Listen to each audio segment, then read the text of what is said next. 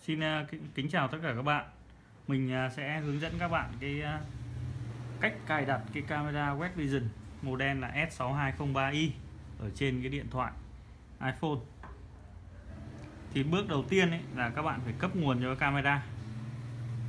Và bước thứ hai là chúng ta tải cái phần mềm Web Vision từ kho ứng dụng về máy. Chúng ta vào App Store và chúng ta tải cái Web Vision về.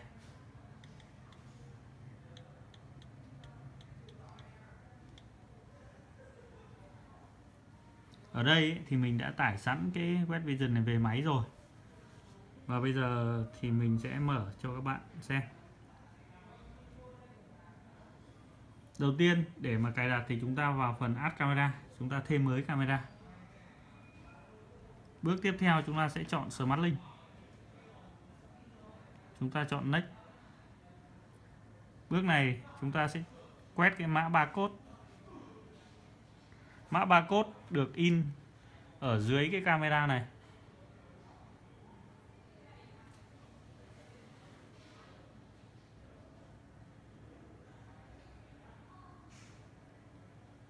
Ok.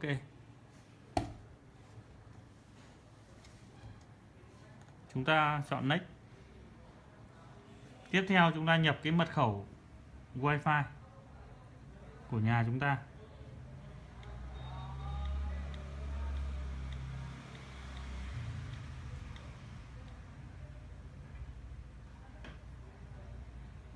Sau đó là cái bước uh, config.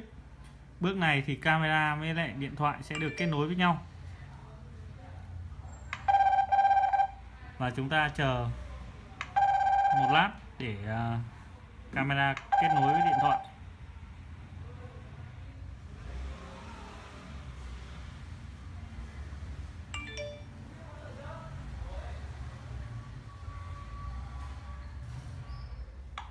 Ok, như vậy là đã kết nối thành công và chúng ta dễ dàng xem được cái hình ảnh của camera ở trên cái điện thoại.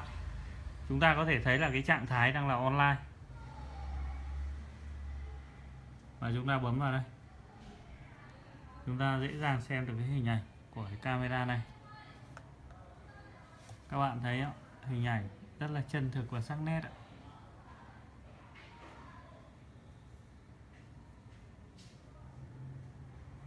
Như vậy là chúng ta chỉ mất uh, chưa đầy một phút chúng ta đã cài đặt thành công cái camera này. Mà thực sự là các bạn không cần hiểu biết gì về công nghệ các bạn có thể làm được. Y hệt như cái clip vừa rồi mình làm. Sau đây thì mình sẽ giới thiệu tất cả những cái tính năng cơ bản nhất của cái camera thông minh lần đầu tiên xuất hiện tại Việt Nam. Cái chức năng đầu tiên đó là chức năng xoay đa hướng camera này có thể xoay ngang được 100 xoay ờ, camera này có thể xoay ngang được 360 độ và có thể xoay dọc được 120 độ. Chúng ta muốn xoay thì chúng ta có thể vuốt thủ công bằng cách là vuốt trên màn hình cảm ứng điện thoại này. Hoặc là chúng ta có thể thực hiện bằng cái ờ, chứng ờ, xoay tự động bằng cách là nhấn vào cái thanh này đó chúng ta có thể xoay được tự động.